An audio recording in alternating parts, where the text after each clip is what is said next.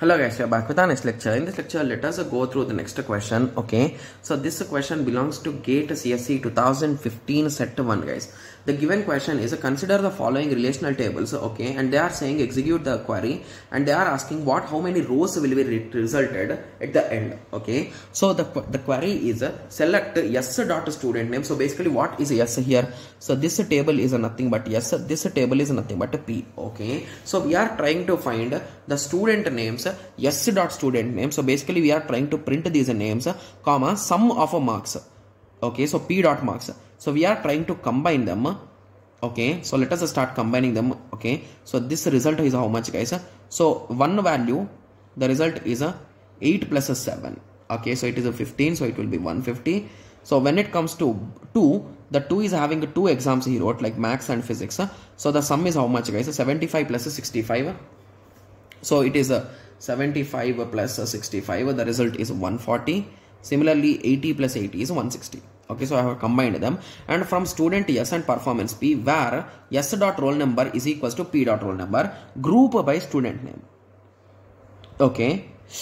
Okay so here there is an issue. So whenever we are performing group by student name if you observe here two names are raj guys. And one name is rohit so if you observe here carefully so once we combine what will be the issue guys?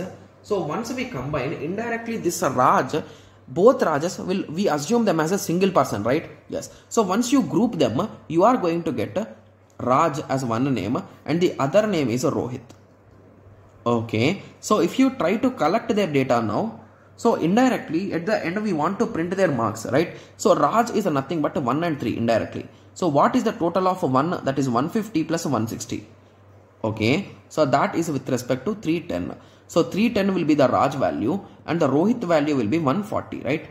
Yes so now the question is that only right? So they are asking how much will be the values of that particular students with respect to their marks. So raj will have 310 marks and rohit will have 140 marks. And they are asking how many entries will be the result. So there are only two entries. So 2 is the correct answer. Got it? Yes. So this question is really a bit funny right? Because whenever we are grouping them by names so two people have become only one people guys right? Yes and he got more marks right? Yes. Okay. So i hope everyone got a clear idea with respect to this question. So in the next lecture let us continue with the next question okay? Yes. So let us meet the next lecture. Thank you. Thanks for watching. Like share and subscribe for more awesome videos like this. Thank you